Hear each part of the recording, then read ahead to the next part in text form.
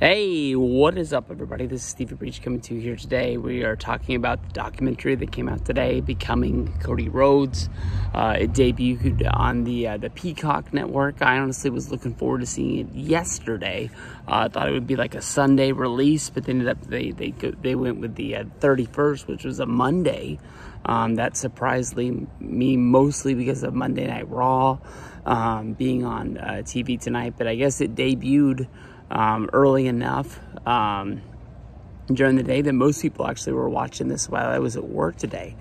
This was a really, really good documentary. Um, when I met Cody Rhodes at Disneyland the day after the Raw, after WrestleMania, um, I met him at California Adventures that day. Um, he was there with his family checking out the sights. He was wearing actually a hoodie um, that said uh, WWE uh, documentaries uh, on the on like the chest part of it, and uh, I honestly thought that was because he helped work with the um, the Dusty Rhodes documentary, and he was the executive producer of that. But uh, I, I, guess it had to do something with uh, with him helping with this thing. Um, really, really good. Um, I know I beat on this a lot, but uh, since um, WWE went away from uh, DVDs. Um, we haven't really got a really good wrestling documentary uh, in, in a while. Um, you know, they, used to come out a, a, few a year, whether if it was somebody on the roster at the time, whether it was somebody um, uh, from the, the past. Um, there was a past superstar that was like a Hall of Famer, like the, the one like around 2010, like the Ricky Steamboat documentary. That was really good. Um, and people bought those. I understand that people don't really go out and buy physical media, but I think that's really something that is lacking out there. Um, as soon as the Cody Rhodes documentary uh, ended, um, as I was uh, grabbing my phone and stuff to, to, come out and make this video, a, uh, documentary on Chyna um, came up. Uh, I think it was called Wrestling with Demons. Um, I had never seen that before. I didn't even know about it, so I don't know how I, I missed on that, but um, maybe there are more of these documentaries out there that I haven't seen that WWE has, has put together and, and released.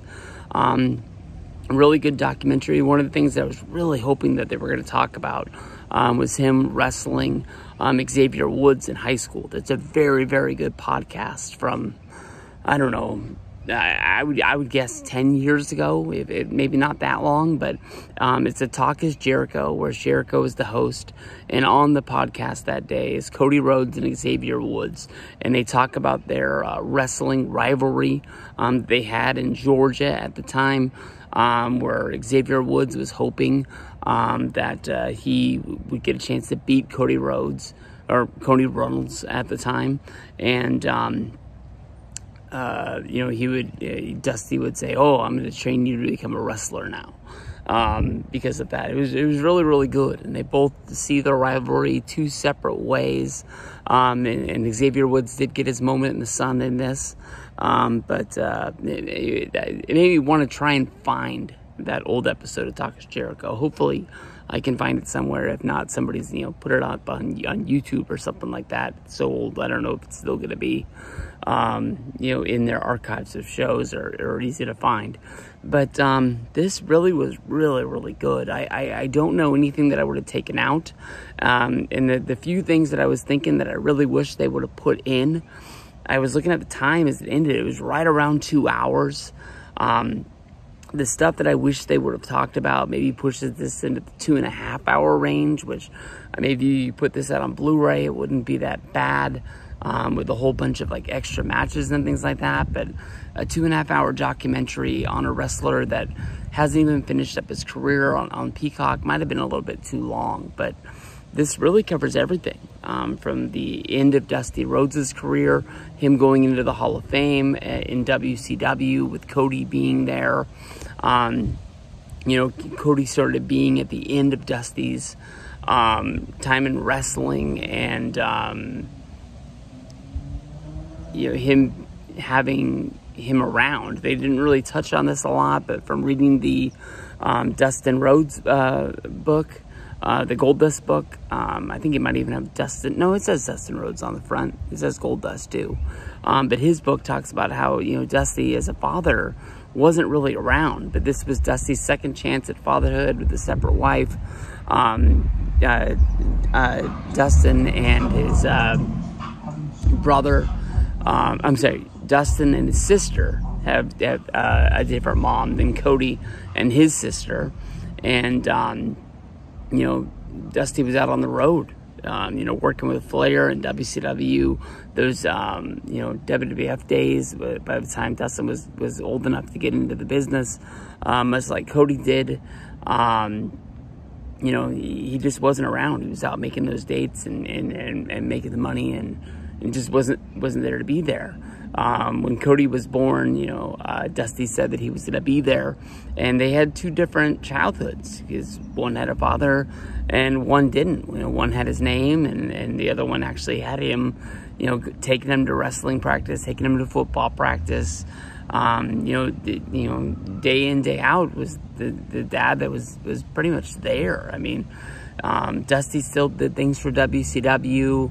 Um, at one point, Dusty left WCW and he was working for ECW, um, but he's probably you know gone in the morning, back home the next day. Um, you know, uh, most days because he wasn't really a full time uh, worker. And, and, Cody talks about the fact that um, you know his dad made sure that the family had everything that they needed, but you know they were at a point in Dusty's life that they were really falling on hard times because Dusty you know, for every, you know, $10 that he made back in the day, he spent 20.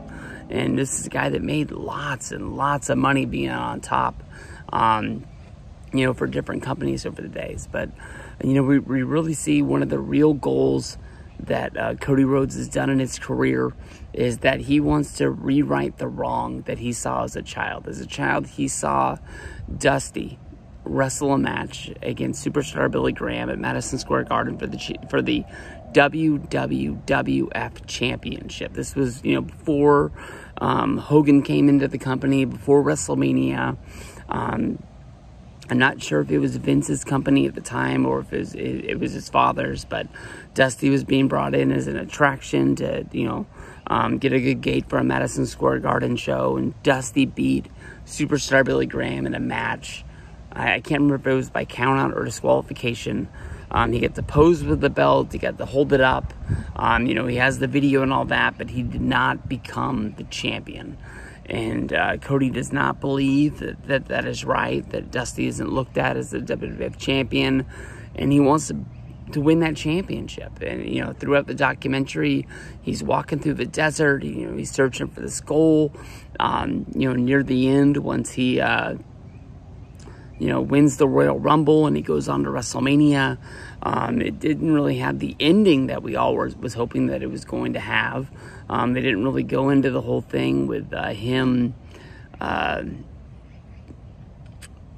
um, you know, going to the Brock Lesnar feud and things like that, trying to, I think, build him up more that people believe that he deserves to be that.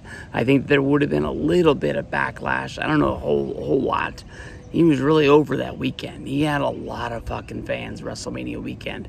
I was really surprised that he lost. And for the people that, that said that Roman only won to make sure that he, um, you know, was champion for a thousand days and, and set that record, I don't know, man. I, I he would have beat him by now. Obviously, they got a plan. I think it's Cody doesn't make really sense for it to be anybody else that Cody. It's not really like they're they're building anybody else up, up out there to, to come in and uh, you know have a big match and beat this guy. Um, but um, you know Cody finds it in the desert, picks it up, and he, and he brings it in. But uh, you know from everything that they really talked about in this documentary, from um, his time with um, debuting in the company. I really wish they would have talked um, about the group with him, Orton, and uh, DiBiase Legacy. Um, they, they kept talking about you know the time that he main evented uh, the Hell in the Cell show with Rollins. That it was his first chance being um, in the main event slot. Maybe I'm wrong, but I think Cody with Legacy, the main evented uh, at least a pay per view. Um, I think the, the the one that was called like Breaking Point. I think that was like the main event where it was DX against them uh, in a in a uh, was it in a Hell in a Cell or just in a cell? Um, I think that was the main event. If not, you know, I'm pretty sure at SummerSlam they didn't get the main event slot, but that DX versus um, uh, DiBiase and Rhodes match was, was pretty high up on the card. I mean, DX came out in a freaking tank. Um, but I, I really wish they would have touched on that a little bit more. They did, you know, talk about the uh, uh, bond between him and Orton. I wish DiBiase would have been there. Um, I think there was an older documentary that would have brought him in, but then again, he is in a little bit of legal trouble, trouble right now with the, the state of, uh, what is that, Louisiana, Mississippi, Alabama? One of those, just like Brett Favre is. Because um, kind of the same thing. Um, and, and, we'll have to see what goes down with that. But, um, you know, if, if they would have got the, the, the, interview about a year ago, I don't think it would have been a problem. Um, but, uh, Mean, uh, just to touch on that a little bit more, I think it was pretty cool that he had his debut match on Raw against Orton. I didn't remember that, didn't know that. Um, talk about his first WrestleMania match with the breakup um, of Legacy because they kind of jumped right into WrestleMania 27 with the match against Rey. They didn't talk about the match at 28 where he lost a Big Show. Um, at that point, I think it was kind of off the rails. They didn't talk about 29 um, with the match, him and Sandow and the Bellas uh, against the Funkadactyls, Brodus Clay, and uh, Lord Tensai. They didn't talk about that match getting scrapped at Gorilla, but then, then again, I've always thought that was just kind of a uh, a, a storyline for Total Divas. I didn't really think that was a real thing. And, you know, they they had to publicize it so people knew about it. But I don't think that match was ever really going to happen when it was scrapped. It wasn't like WrestleMania 10 with that like 10 man tag with like Virgil and the Repo Man and other guys, you know, got scrapped because uh, the, the, uh, Macho Man uh, crush match as well as the ladder match uh, went long and they had to scrap something. But um, I was really surprised to see the Young Bucks in there as much. I mean, they didn't sit down and do interviews, but a lot of stuff they got from BTE, like them signing their AEW contracts, talking about All In, um, and, um, you know, just really talking about the fact that he built another company, even if Triple H thinks it's a second rate company. I don't believe that. And I don't believe that Triple H believes that at all. Um, maybe that, you know, it's not the, the, the, strongest competition, but on paper, I think there's people out there that, you know, when it comes down to whether they're going to spend money, whether if it's on, you know, pro wrestling tees or WWE shop, um, whether it's against buying this figure or that figure, I really think that there's, um, a decision uh, to be made. Um, I, I, don't think it's that small of a second-rate company that uh, Triple H thinks it is. Um, but honestly, really, really good. Would love to see it put out like on a Blu-ray or a DVD um, somehow, some way. I know that it will be somehow, some way, but at least like a real WWE release would honestly be really, really cool. But um, really, really fun stuff. Love to see what happens with the future um, with Cody, and we'll to see where the story goes from here.